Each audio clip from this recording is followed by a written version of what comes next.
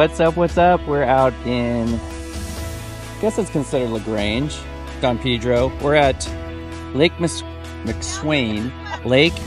We are at Lake McSwain, which is right below Lake McClure, which is right below Don Pedro. Which is freezing. And because of that, the water is like Freezing. freezing. It's got to be like 50 degrees or colder. It's numbing. It's numbing. Like kids are out. They've been out there for five hours.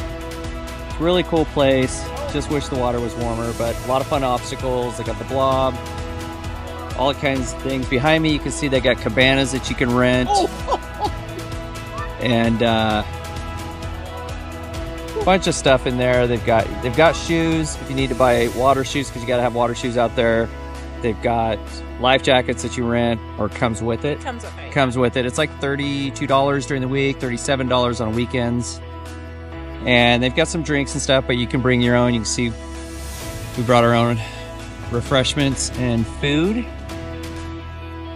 And Brody just wiped out again.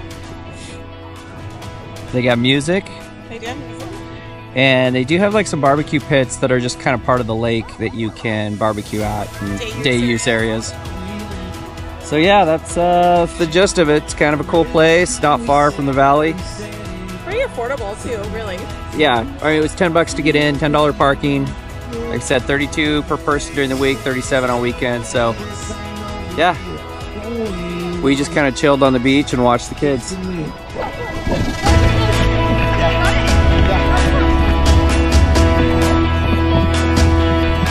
Cool.